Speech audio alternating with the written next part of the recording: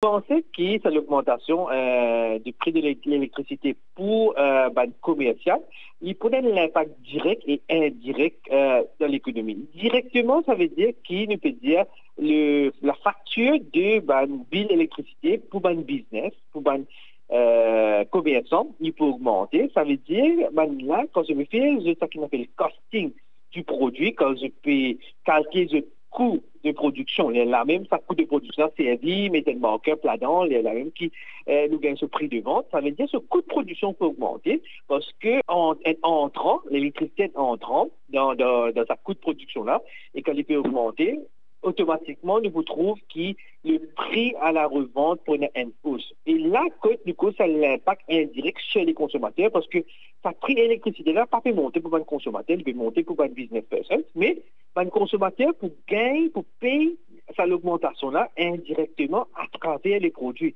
Encore un coup de massue, n'est pas direct un coup de massue, qu'on veut dire, indirect parce que quand on fait des prix, euh, c'est pas des ménages peut augmenter directement, la facture d'électricité des ménages, ça va bien augmenter, mais c'est la facture de, la consommation qui augmenter. Ça veut dire qu'on trouve la facture d'électricité des businessmen, des, commerciaux qui peut augmenter.